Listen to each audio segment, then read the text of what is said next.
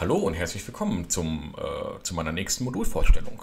Ihr erinnert euch vielleicht, ich habe letztes Mal über den One-Page-Parser geredet und generell ein bisschen über die Module und heute geht es mal direkt los. Ähm, ich möchte euch zwei Module vorstellen, die sich mit Audio beschäftigen. Und zwar wäre das einmal Maestro. Das ist ein, ähm, ich zeige euch das einfach gleich mal. Und dann gibt es noch die, das, äh, das Tool, das nennt sich Playlist Drag and Drop.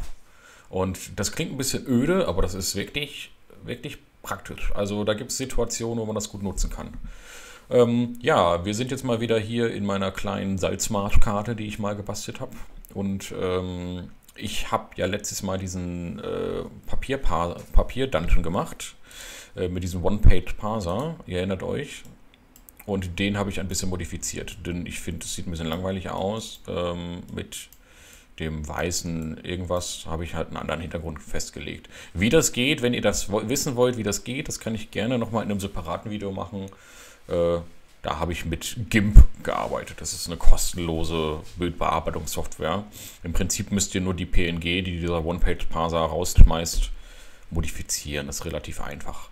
Kann ich gerne nochmal zeigen. Ähm, ja, jedenfalls, ihr erinnert euch, hier ist unser Held Krusk der letztes Mal ein wenig äh, sich in diesem neuen Dungeon zurechtgefunden hat. Und Krusk hat, ähm, findet das aber ein bisschen langweilig hier und ich ja auch.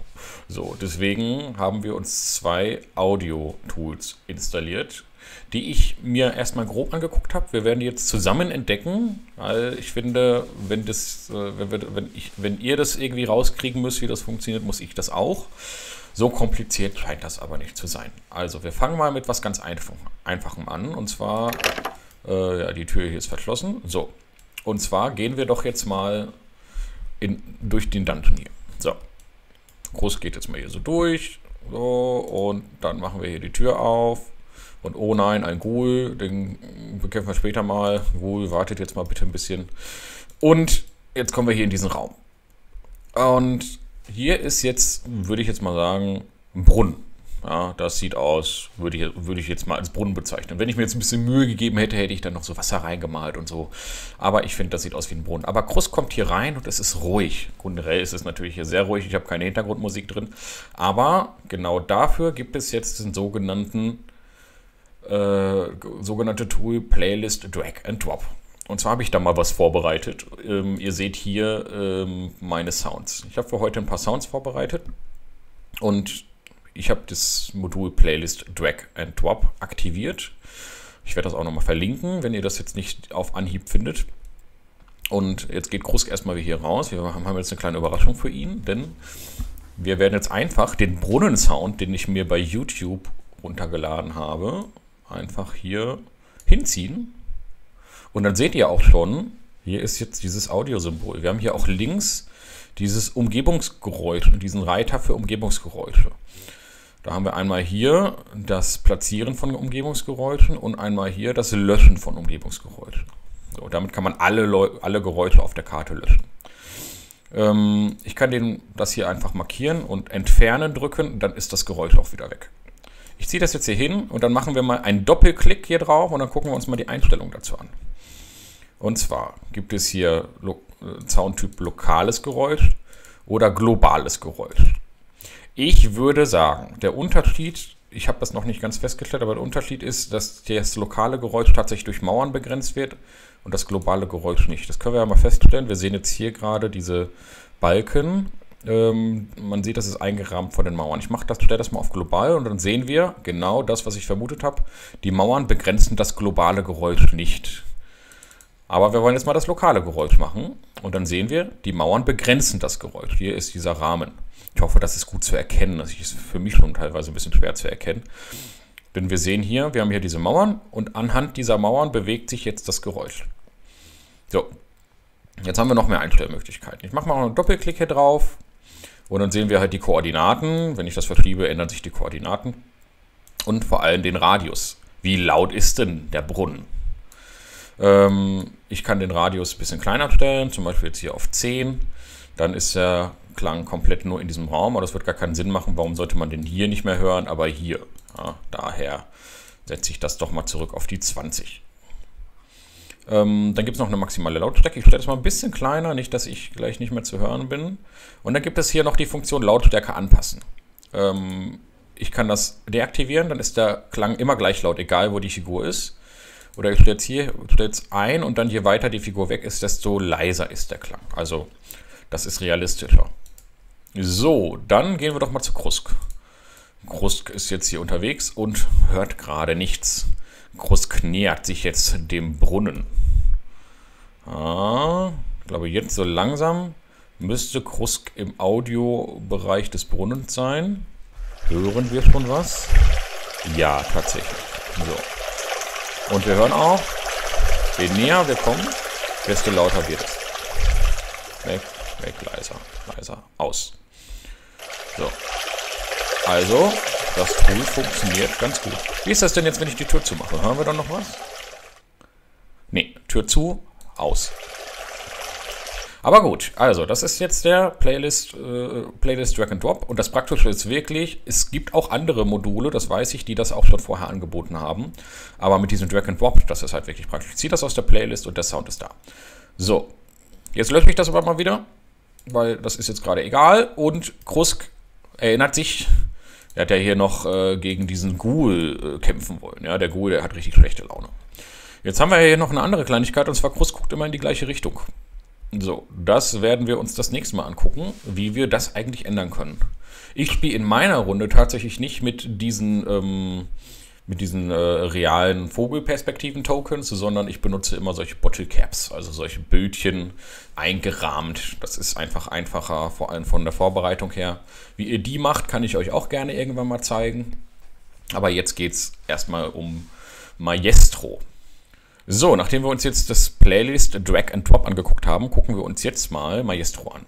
Und zwar hat Maestro mehrere Funktionen. Ich möchte euch davon mal drei zeigen. Ein paar habe ich mir angeguckt, die halte ich für sinnlos, aber äh, ich verlinke euch das mal, da könnt ihr euch auf der GitHub-Seite mal angucken, umgucken, was ihr da so, was ihr da so rauszieht. Ich nehme jetzt mal die drei meiner Meinung nach spaßigsten kleinen Tools. Das sind ja auch alles äh, keine Notwendigkeiten. Ich finde es aber ganz praktisch.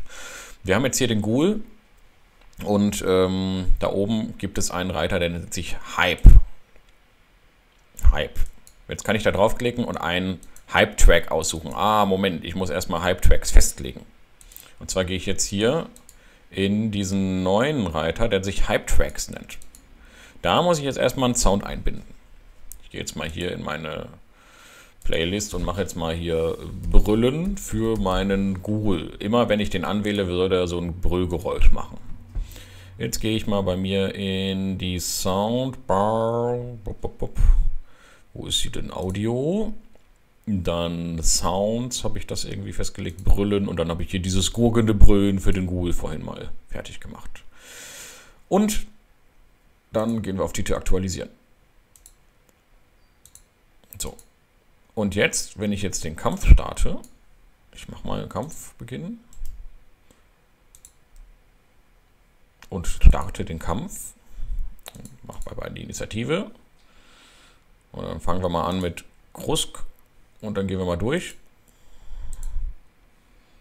Und dann passiert gar nichts. Warum nicht? Warum funktioniert das nicht? Das sollte doch eigentlich... Ach, vielleicht, weil ich auf Pause gedrückt habe? Moment.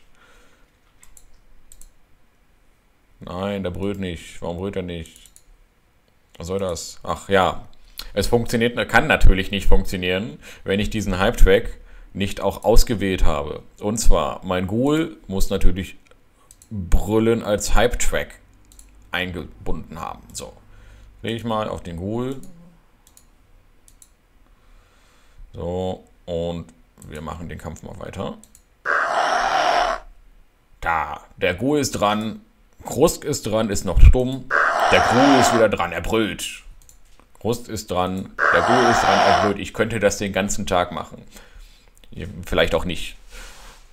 Ihr könnt ganz viele Hype-Tracks einbinden. Ihr könnt für jede Kreatur einen anderen machen. Ihr könnt für eure Helden auch diese, sagen wir mal aus Baldur's Gate oder Neverwinter Nights oder diese ganzen modernen Spiele, äh, wo jedes Mal, wenn man jemanden anklickt, jemand sagt, ich bin bereit oder äh, jawohl, Sir, ich erwarte neue Befehle oder sowas. Das könnt ihr dann halt für eure Charaktere, für eure Helden festlegen. Und jedes Mal, wenn der dann im Kampf dran ist, dann kann der dann so einen tollen Ich bin bereit Sound machen. Das kann nerven, das kann aber auch cool sein. Das hängt davon ab, ähm, was ihr für Sounds habt, wie kurz sie sind und wie viele Gegner da auch auf dem Bildschirm sind. Aber ich glaube, so grundsätzlich ist es eine ganz, ganz coole Sache. Jetzt will aber Krusk, ja, jetzt kommt die zweite Funktion. Ich beende mal den Kampf. Ja, wir beenden den Kampf. Und das will aber Krusk hauen, und zwar mit seinem Schwert. Aber das Schwert, wenn das haut, das macht ja keine Geräusche. Und das hat, dafür hat Maestro auch eine Lösung. Und zwar, wenn ich jetzt auf das, das Item gehe, also das Langschwert, dann gibt es hier oben den Item-Track. Und dann kann ich jetzt hier wieder einen Sound aussuchen. Und zwar, gucken wir mal, ob ich, ja, genau. Und hier ist das ein bisschen einfacher. Hier habe ich nämlich schon eine Liste Sounds angelegt vorhin, weil ich habe ja mal was vorbereitet, aber halt nicht in diesen kleinen Reitern hier. Und unter Sounds sind jetzt alle meine Sounds drin. Und da habe ich das Brüllen und auch das Schwert. Wir klicken jetzt mal auf Schwert. Das Schwert ist jetzt natürlich gerade noch stumm. Dafür muss der Krusk erstmal damit zuhauen. Jetzt geben wir mir das Schwert mal hier unten in die Makroleiste. Und jetzt will Krusk mal den Ghoul angreifen. Wir klicken. Wir hören ein ja, Haugeräusch. Jedes Mal, wenn ich auf das Schwert klicke. Wir können da auch andere Sounds für einbinden. Aber ich finde das ganz cool. Ja, das macht insbesondere Sinn, wenn das mindestens bei den Spielercharakteren schon mal dabei ist. Ja, weil wenn man das wirklich bei jedem Monster einmal einstellt, da ist der Vorbereitungszeitraum schon ein bisschen länger. Ja, das dauert dann. Und dann könnt ihr auch noch die Kampfmusik starten lassen. Und zwar kennt ihr das ja, normalerweise habt ihr die Kampfmusik, wenn ihr in eine Battlemap geht und dann habt ihr die schon da aktiv, weil was soll sonst in der Battlemap passieren? Aber vielleicht wollt ihr auch noch ein bisschen Rollenspiel in der Battlemap machen und dann ist die Kampfmusik da unpassend. Deswegen gibt es bei Maestro die Funktion, dass die Kampfmusik erst startet, wenn der Kampf startet. So, ich zeige euch mal, wie das geht.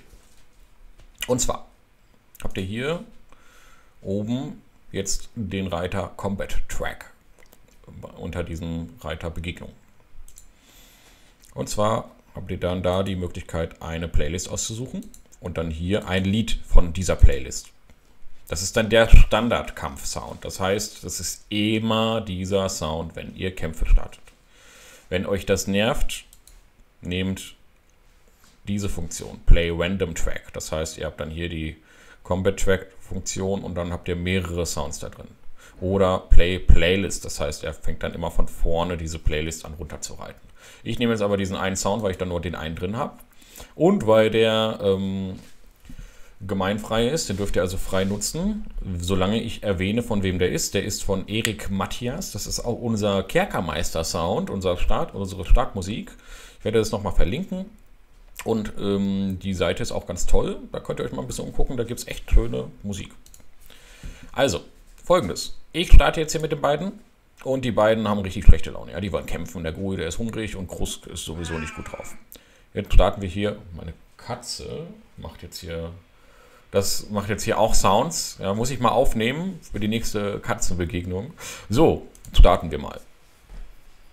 Ach, Moment. Es passiert noch nichts, denn Großkack noch keine Initiative, Initiative gewürfelt. Jetzt starten wir und der Kampf geht los. Epische Musik, Kerkermeisterstimmung. Ja, ähm, Husk tötet jetzt in einem epischen Kampf den Ghoul. Ghoul ist tot. Beendet. Wupp, die Musik ist einfach zu Ende. Das ist etwas, was mich ein bisschen stört. Ich fände es cool, wenn die Musik so einfaden würde. Das heißt, wenn die Musik so langsam startet und auch langsam wieder ausfadet. Da gibt es Tools bei, ähm, da gibt es Mods bei ähm, Foundry, womit das geht. Da gibt es eine Playlist Fade In und Fade Out, aber das ist bei Maestro nicht implementiert. Jedenfalls jetzt nicht, dass ich wüsste. Vielleicht laber ich jetzt auch wieder Unsinn. Aber das habe ich noch nicht entdeckt. So. Das wäre das, was ich euch von Maestro zeigen wollte. Und das wäre auch das, was der Playlist Drag and Drop. Meine Katze. Äh, was Playlist äh, Drag and Drop ähm, halt äh, für Funktion hat. So, aber äh, das ist jetzt der richtige Zeitpunkt, um das Video zu beenden. Ja, meine Katze hat Hunger. Und ich werde jetzt. Ähm, ich freue mich auf jeden Fall auf Feedback. Wenn ihr Module habt, die ihr mir empfehlen könnt, die ich mir mal anschauen soll, dann bitte kommentiert hier ähm, oder äh, schreibt eine E-Mail an info@kerkermeister-podcast.de. Und ich glaube, ich mache jetzt hier Schluss. Bis zum nächsten Mal wenn es da wieder heißt, Modulvorstellung oder so. Ich habe ehrlich gesagt noch gar keine richtige, richtigen offiziellen Titel dafür. Ich muss mal, wenn ihr, wenn ihr coole fancy Namensvorschläge für diese, für diese Modulvorstellungsreihe habt, weil Foundry Modulvorstellung klingt vielleicht ein bisschen langweilig, gerne einsenden und jetzt ist Feierabend hier. Auf Wiedersehen. Tschüss.